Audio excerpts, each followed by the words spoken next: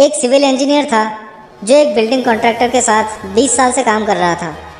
वो बहुत अच्छा काम करता था और उसका बॉस उससे बहुत खुश था। लेकिन उसको लगने लगा कि उसको उतनी सैलरी नहीं मिल रही जितनी उसको मिलनी चाहिए।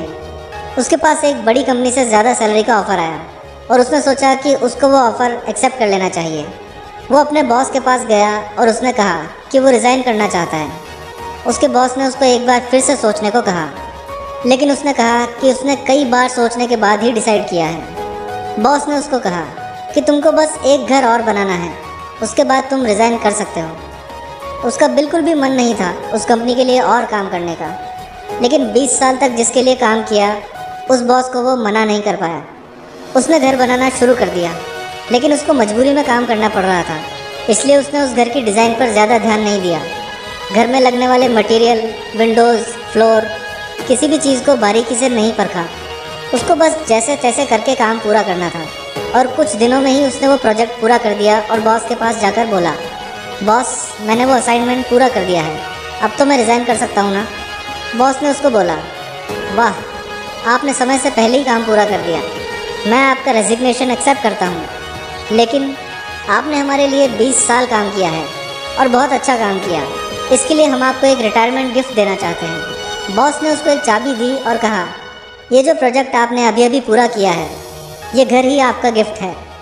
जैसे ही उसको ये पता लगा तो उसको बहुत अफसोस हुआ। वो बोला, काश मुझे पहले पता होता कि ये घर मैं अपने लिए ही बना रहा हूँ तो मैं अपना पूरा मन लगा के बहुत सुंदर और मज़बूत घर बनवाता। दोस्तों, ऐसा कई बार आपके साथ भी हुआ होगा। काश पहले पता होता कि ऐसा रिज़ल्ट आएगा तो थोड़ी देर ज़्यादा पढ़ लिया होता।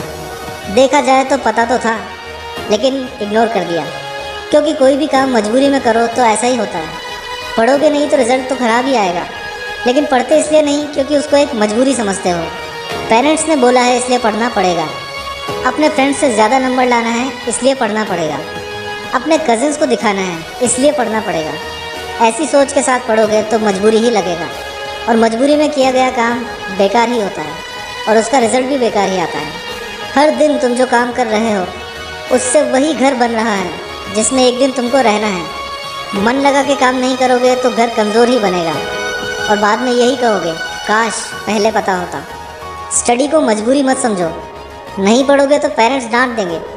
फ्रेंड्स और कजिन्स मज़ाक उड़ाएँगे। लेकिन ये कोई बड़ी बात नहीं है।